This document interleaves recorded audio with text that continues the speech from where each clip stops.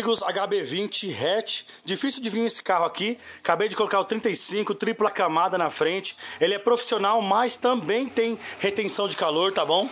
Então já vai com carimbinho da Sunprotect, da, o filme da Sunprotect, o carimbo da Sigmic Pro aqui pra vocês. Acabei de terminar aqui, coloquei G5 nas laterais de traseiro, também tripla camada profissional.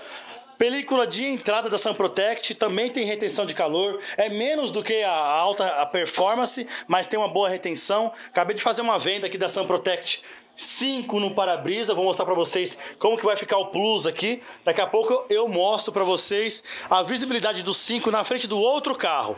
Se você gostou, curte, compartilha. Deixa eu mostrar como ficou aqui por dentro do carro, a visibilidade. Olha a visão aí com 35, tá vendo? 5 nas laterais e traseiro. Se você gostou, curte, compartilha muito, se inscreva no canal Doutor Filme. Esse é raridade vir aqui, hein? Hatch ainda é um presente de Deus. Valeu, abraço, tchau, tchau.